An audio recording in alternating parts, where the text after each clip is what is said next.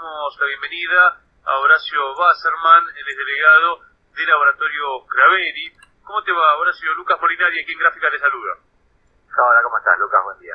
Para reponer la información, ustedes están peleando ya hace mucho tiempo por eh, la reincorporación de 47 despedidos y despedidas de manera arbitraria. ¿Y qué pasó ayer, Horacio?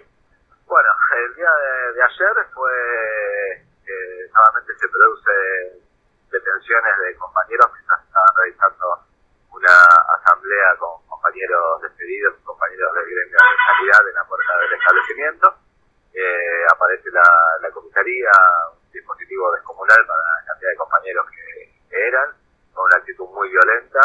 Eh, estaba el comisario Ochoa, que es el comisario, el comisario de la comisaría vecinal número 11 de acá de Villa del Parque, en la calle Cuba, y inmediatamente empiezan a empujar a los compañeros y a las compañeras. Eh, se lo lleva detenido primero a Carlos Kinster, delegado de, de ARCHA Buenos Aires, del laboratorio Craveri, eh, esposado, y después se llevan a la compañera Giselle Ledesma del laboratorio Gador, también a los empujones de, la puerta de la, de la fábrica, y armar un cordón policial para garantizar que un camión ingrese a la, a empresa al compañero Carlos, el móvil policial que lo traslada se detiene a tres cuadras y los policías le dicen que lo iban a, dejar ahí hasta que el camión termine de descargar lo que traía y que después le iban a largar de ahí mismo sin llevarlo a la comisaría.